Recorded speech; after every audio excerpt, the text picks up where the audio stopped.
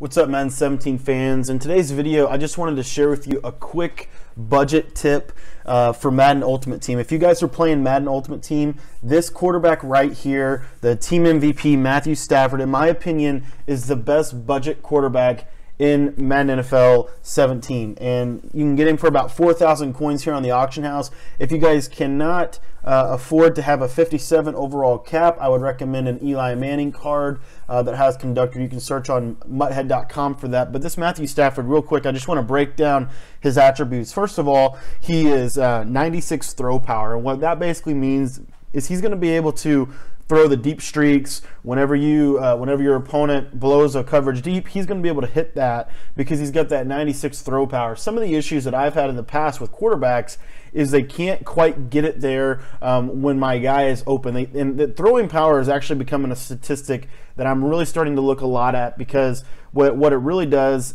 is it allows them to throw it into tighter windows and it allows it to throw it farther. Uh, and that is just a, a, very, very critical attribute. So I just wanted to quickly point out that that 96 throw power is phenomenal.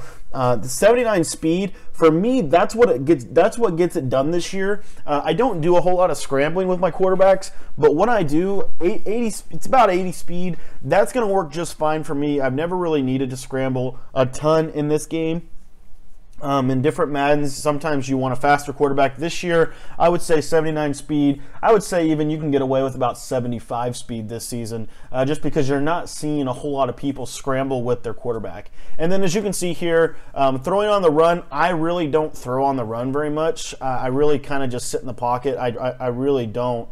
Uh, I'm just trying to think of my gameplay if I've ever really done it. If you guys are throwing the run guys, you might not want this card, but in my opinion, uh, the the way the game works this year, you really don't want to be thrown on the run if you don't have to.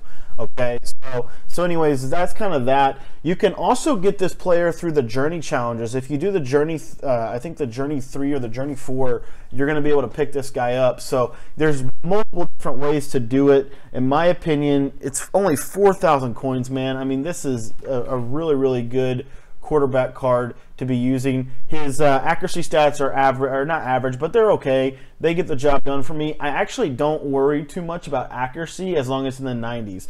The threshold for me is accuracy has to be within the 90s.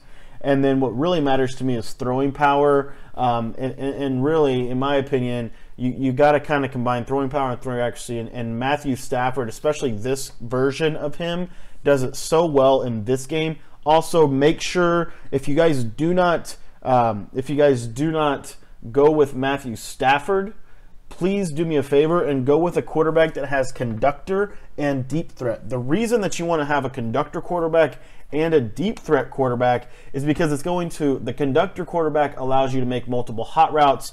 The deep threat is really the key. It allows your receivers to make better, uh, better, bigger catches, uh, in my opinion. In my opinion, the aggressive catch is the way to go this year. If you guys look at all the data, user catching is actually really, really effective in this year's game. And if you have the deep threat trait, it's going to really help you when you talk about going up, making big catches with some of your big receivers. So those are just a couple of reasons why I think Matthew Stafford is certainly the best quarterback uh, for a budget item in Madden Ultimate Team. So just wanted to kind of give this video out to you guys and share it with you. Uh, I'm going to have a ton of other budget videos coming out because I always ball on a budget. I you know I don't get to play the game enough to be able to go out and get like the elite elite players.